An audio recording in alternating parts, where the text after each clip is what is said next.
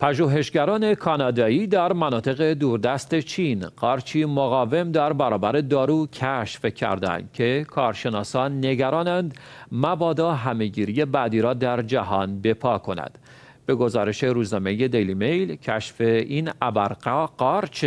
که در برابر دارو مقاوم است موجی از نگرانی در مورد احتمال شیوع گسترده و همهگیری بیماری بالقوه‌ای به پا کرده است. این قار چطوری تکامل یافته است که در برابر داروهای رایج ضد عفونت قارچی مقاوم است و از همین رو ناقوس هشدار را در محافل علمی به صدا درآورده است. این قارچ از نواحی کشاورزی و تماس با انسان دور است اما چنانچه مدت طولانی در معرض داروها یا قارچ کشها قرار گیرد در برابر آنها مقاوم می شود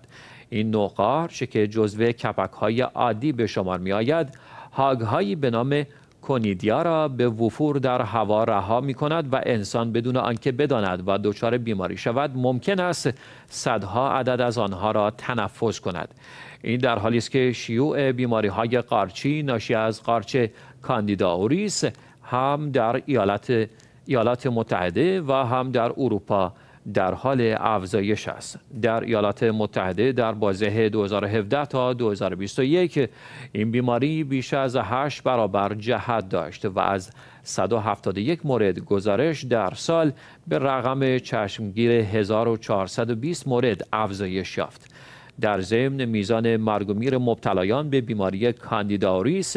که دچار ضعف دستگاه ایمنی بود 30 تا 60 درصد بود.